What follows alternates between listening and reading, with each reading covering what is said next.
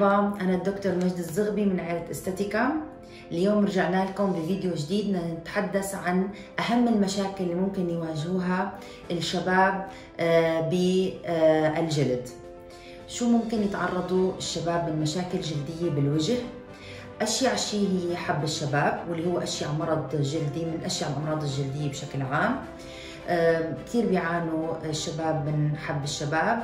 كمان منطقة اللحية ممكن يعانوا من التهاب أجربة شعرية نتيجة الحلاقات الخاطئة أو عدم الاهتمام أو ال ingrowing hair أو ممكن كمان يصير في عندهم حاصة بقعية أو الثعلبة اللي بنسميها بالعامة أو alopecia areata. وكمان واحدة من أهم المشاكل اللي بيواجهها الشباب جفاف الإيدين آه، أو الأكزيمة الجفاف. آه، لأنه ما كثير بيحبوا آه، إنه يستخدموا المرطبات وما بيجففوا اليدين بعد الغسيل.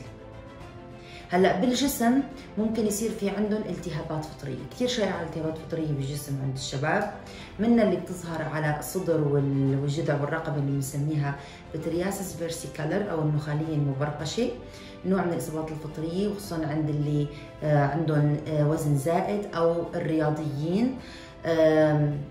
أو اللي بيتعرقوا بكثرة.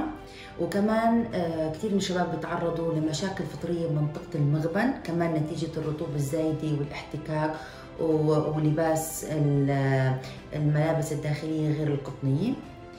وكمان ممكن يتعرضوا لإصابات فطرية بالقدم بنسميها القدم الرياضية. آه، بصير في عنا إصابة فطرية بين الأصابع. ممكن تتطور للأظافر وعلى جانبي القدم.